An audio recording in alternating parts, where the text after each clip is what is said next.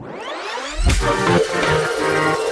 Hello दोस्तों स्वागत है आपका हमारे चैनल पर, आपके फेवरेट सीरियल इमली में चल रहा है हाई वोल्टेज ड्रामा जहाँ पर पंडित करेगा बहुत बड़ी भविष्यवाणी। आने वाले एपिसोड में देखने को मिलता है कि चीनी आपने बाबा का नाम पूछती है और इमली कहती है कि बाबा कोई नाम या अपने काम उससे नहीं होता है जन्म से, वो अपने काम से होता है।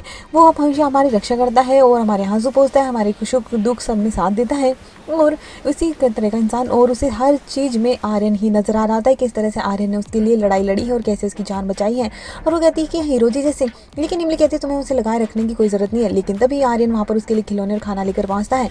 और अब यहाँ देखने को मिलेगा यहाँ पर अब चीनी उसको बाबा कह रही होती है और वो उसमें उसने उसको बाबा नज़र आ रहे होते हैं और ये चीनी उसी को बाबा पुकारते नज़र आएगी। तो दूसरी तरफ़ देखने को मिलता है कि इमली उस पर गुस्सा होती है, लेकिन तभी मिट्टी आ जाती है और आर्यन को आशीर्वाद देती है और इमली को समझाने की कोशिश करती है और कहती है कि खाना खाने का वक्त आया तो ऐसे नहीं जाओगे।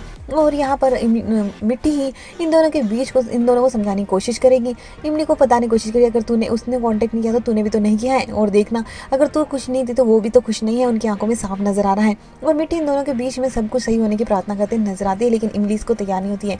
वहीं पर मिट्टी उनके दो, तीनों के लिए खाना लगाती है और चीनी इन दोनों के बीच में झगड़ा करवा देती है और वो साथ साथ झगड़ा करते हैं साथ साथ ही खाना खाते हैं, सब कुछ अपने साथ साथ हो रहता है। जिसके बाद चीनी उन दोनों के मज़े ले रही होती है। वहीं पर पंडित जी को बुलाकर यहाँ पर अब देखने को मिलेगा नीला, यहाँ पर कुछ कुंडली दिखाने की कोशिश करती है और प्रीता की और अब उसकी शादी का ड्रामा चलने वाला है, जिसके चलते यहाँ पर अर्पिता साहब इनकार कर देती है और वहीं पर यहाँ पर अनु और मालिनी भी पहुँचते हैं और पंडित जी यहाँ पर भविष्यवाणी करते हैं कि इन आर्यन की ज़िंदगी में खुशी आ चुकी है और वही उसकी किस्मत है और उसका पुराना नाता है।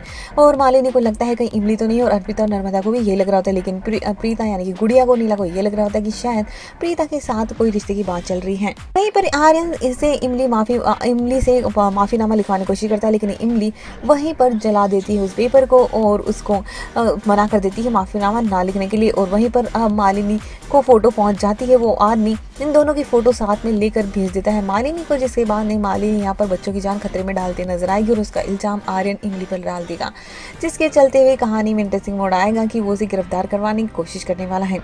लेकिन यहाँ पर चीनी आर्यन को बाबा पुकारेगी और उसके बाद में आर्यन के जो कि इमली उससे छुप सच्चाई छुपा रही है कि आदि आखिर चीनी किसकी बेटी है और चीनी इसलिए नहीं बताना चाहती।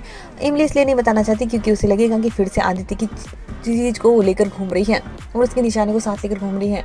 जिसके बाद यहाँ पर देखने को मिलेगा जल्दी ही आर्यन के सामने ये सच्चाई भी आ जाएगी।